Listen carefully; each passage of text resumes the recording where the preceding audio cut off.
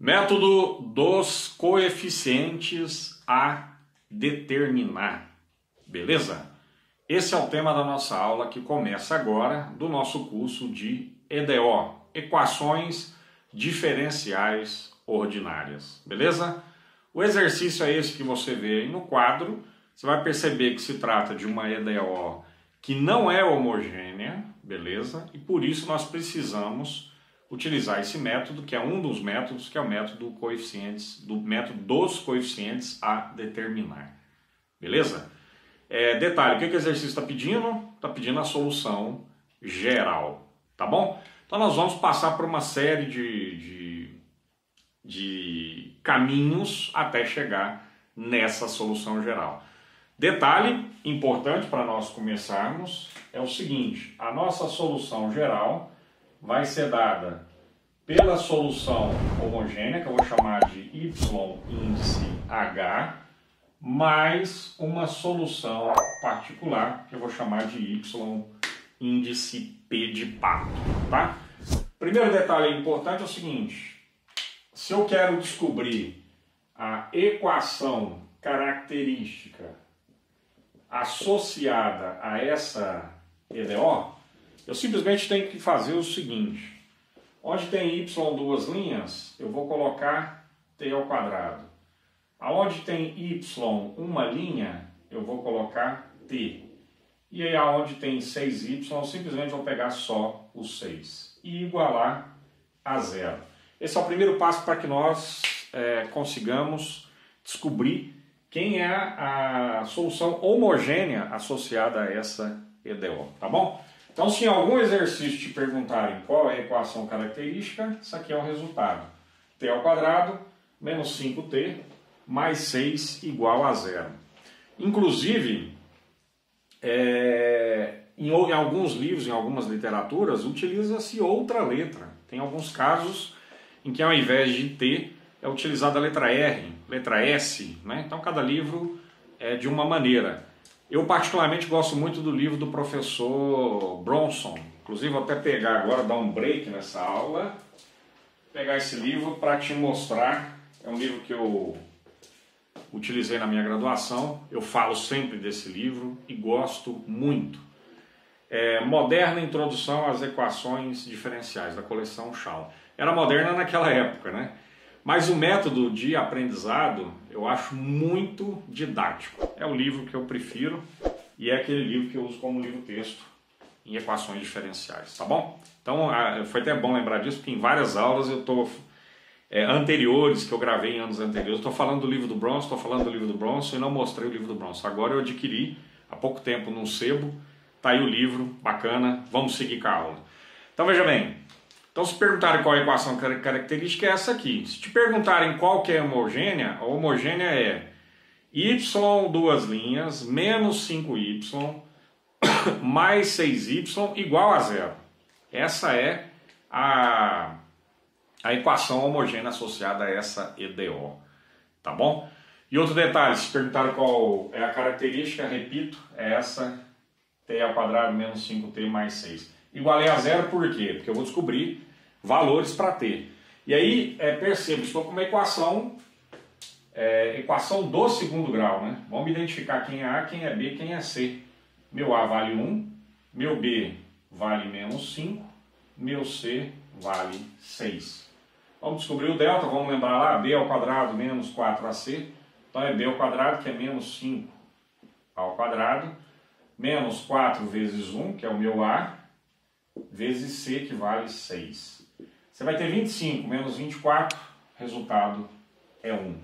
E aí vem um detalhe, que é o seguinte, nós vamos descobrir as raízes, vai vir um detalhe importante aí. As raízes são dadas por t igual, vamos lá, menos b, oposto de b, né? b é menos 5, o oposto de b é 5. Mais ou menos, raiz quadrada de delta, raiz quadrada de 1 é 1.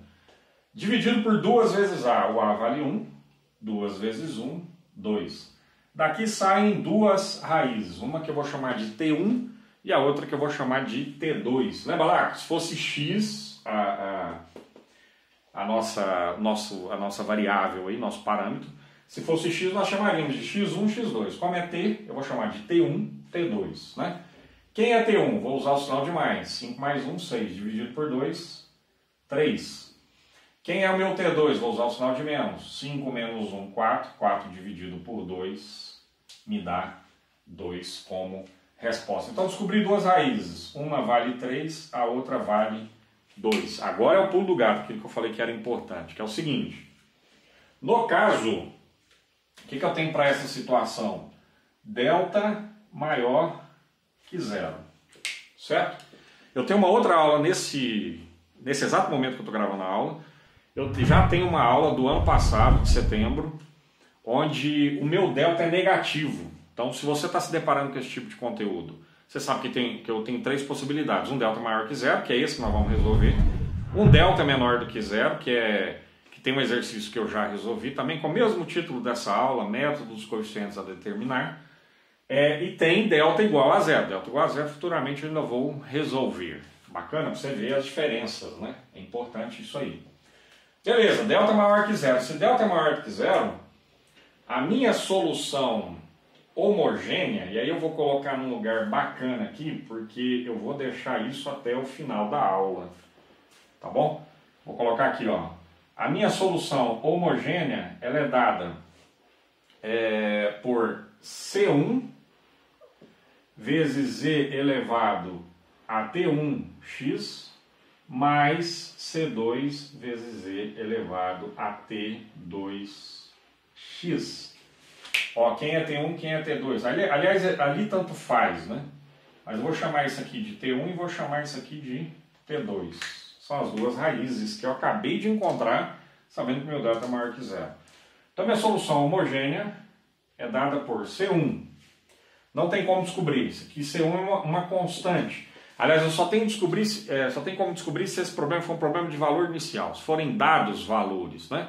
Ah, para um x igual a tanto, nós, nós descobrimos um y igual a tanto. Esse exercício não trouxe é, valores é, iniciais. Então a gente não tem como descobrir, tem que deixar de forma genérica. C1, uma constante. Elevado a T1. T1 vale 3 ou vale 2, tanto faz. Não vai fazer diferença nesse caso. Mais C2 elevado a E. E aqui eu pego a segunda raiz, ou meu T2, 2x. Tá bom?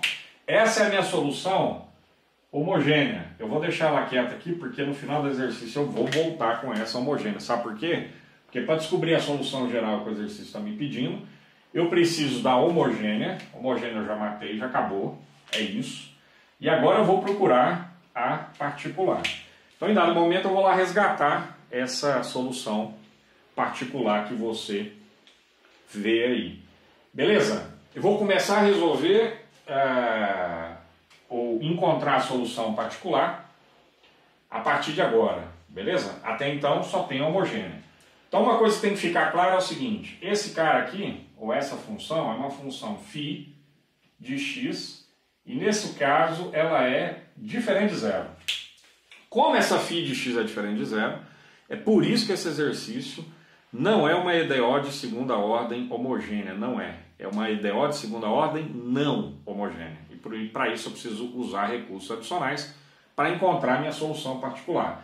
Se isso aqui fosse igual, tivesse igualado a zero, ou seja, se a minha φ de x fosse igual a zero, a minha solução, eu teria uma EDO de segunda ordem, segunda ordem porque aparece é, y duas linhas aqui, eu teria uma ideal de segunda ordem e a minha solução geral seria exatamente igual à minha solução homogênea. Eu não teria solução particular.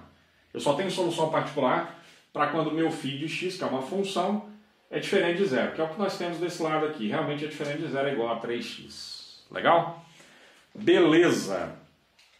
E aí? E aí é o seguinte, essa φ de x, nesse caso desse exercício, a minha φ de x Vamos lá. Ela é um polinômio de grau n, em função da variável x. Que polinômio é esse? 3x, certo? Beleza. Então, minha solução particular, a partir disso, ela é dada da seguinte maneira. É um polinômio de grau n. Aí você vai olhar para esse polinômio e falar assim, não, esse polinômio é de grau 1. Como que eu escrevo um polinômio de grau 1? De forma genérica. eu tenho K1, que é, uma, que é o coeficiente, vezes x elevado a 1, mais um K0, que é meu termo independente. Então percebam, eu estou usando aqui como variáveis é, K. Tem livros que trazem A, A maiúsculo, A1, A0 e por aí vai. A, o meu polinômio é um polinômio de grau 1. Como que eu escrevo um polinômio de grau 1? Você está acostumado a escrever assim, ó, y igual a ax mais b. Está acostumado a escrever dessa forma, que é a minha função afim. Polinômio de grau 1 e função afim são palavras sinônimas ali, conceitos sinônimos e se confundem. O detalhe, detalhe da, da diferença dos dois é muito pequeno, não cabe nessa aula aqui, não é essa a discussão. Mas você está acostumado. Função afim, y igual a x mais b. Então, nesse caso, é, meu A foi representado aqui por K1. Né? O x é ele mesmo, x elevado a 1 é o próprio x. O meu K0 está fazendo papel de B. Ok? Você, já, já que você se acostumou com ax mais b. Se fosse o segundo grau, seria ax ao quadrado mais bx mais c. Mas eu colocaria aqui como K2 multiplicado por é, K2x2 mais K1x1 mais K0. Bacana? É isso. Legal. Tá, isso aqui de forma genérica.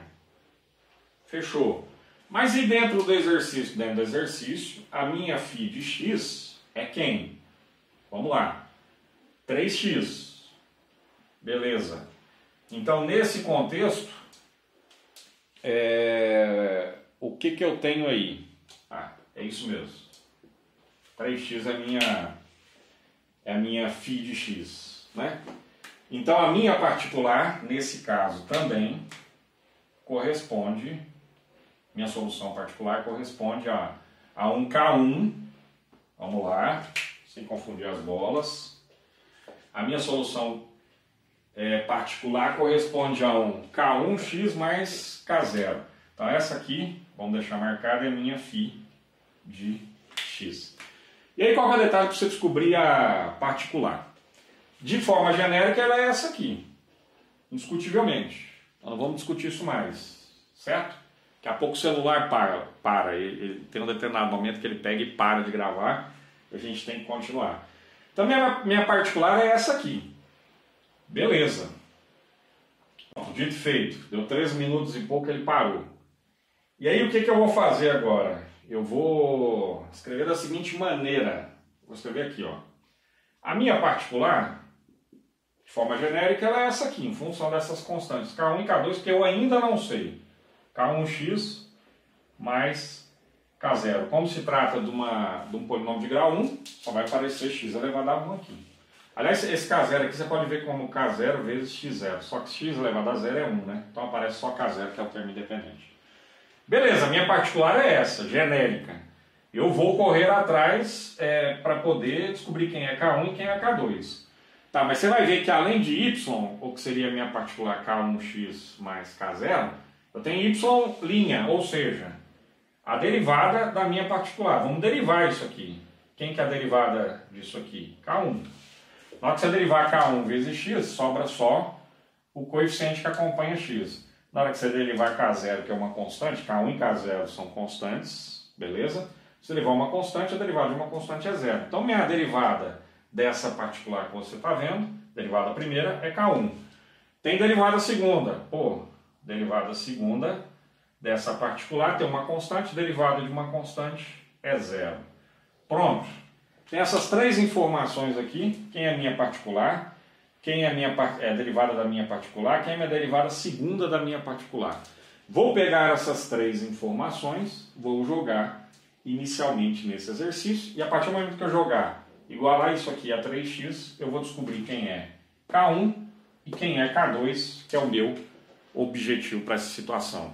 Vou parar a aula, vou apagar essa parte para a gente dar prosseguimento ao exercício, ok?